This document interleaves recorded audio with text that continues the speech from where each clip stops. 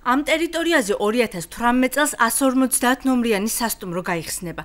მწვანე კონცხზე 2.5 ჰექტარ მიწის ფართობზე 30 მილიონი ლარის ინვესტიციას შეპესე ბიზნეს დეველოპმენტი განახორციელებს. აჭარის ფინანსთა სამინისტროში ამბობენ, რომ ტერიტორია აუქციონის წესით გასხვისდა. დაინტერესებული პირის განაცხადის საფუძველზე მოხდა მისი დამოუკიდებელი აუდიტის მიერ შეფასება და გამოტანილი იქნა პირობები ან ელექტრონულ აუქციონზე.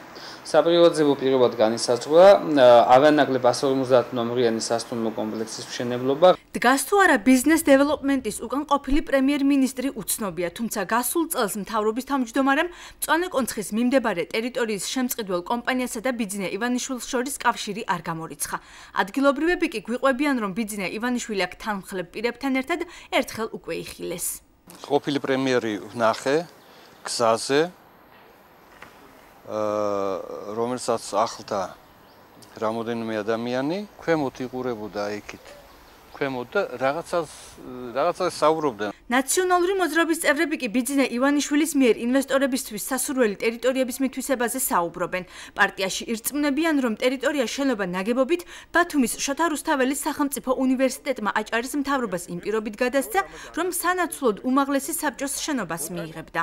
ბიძინე ივანიშვილი აპირებს დაანგრიოს ბათუმის უნივერსიტეტის შენობა და უნივერსიტეტის შენობის ნაცვლად ააშენოს იგივე ტიპის დაახლოებით ბიზნეს ცენტრი, თუ არ ვიცი, სასტუმრო, როგორც მას აქვს თბილისში. უნივერსიტეტის შენობა ისე გასხვისდა და მასზე დამაგრებული მიწის ნაკვეთები ისე გასხვისდა, რომ უნივერსიტეტს, ბათუმის უნივერსიტეტს ერთი თეთრი არ მიუღია სარგებელი. პრაქტიკულად ივანიშვილმა და მისმა მთავრობამ ბათუმის უნივერსიტეტის პრივატიზებაც კი მოახერხეს. როგორც ირკვევა თავის დროზე ბათუმის სასოფლო-სამეურნეო ინსტიტუტის შენობა სადემონსტრაციო ნაკვეთებით ბათუმის სახელმწიფო უნივერსიტეტს აჭარის მთავრობა ხელისუფლებამ უზუფრუქტის წესით გადასცა. უმაღლესი სასწავლებლის კანცლერის განმარტებით რეგიონის ხელისუფლებამ ქონების გარკვეული ნაწილის უკან დაბრუნება მოითხოვა, რაც კანონიერია.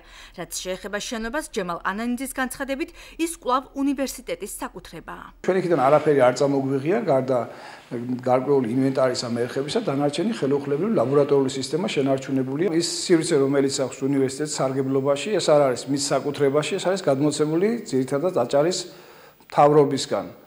და მოქმედი კანონით მესაკუთრე შეუძლია ქონების გარკვეული ნაწილი მოითხოვოს უკან. კომპანიამ მშენებლობის ნებართვის მისაღებად ბათუმის მედიას უკვე მიმართა, როგორც უწყებაში გვითხრას, ჯერ მხოლოდ შესაბამისი პროცედურების განხილვა მიმდინარეობს.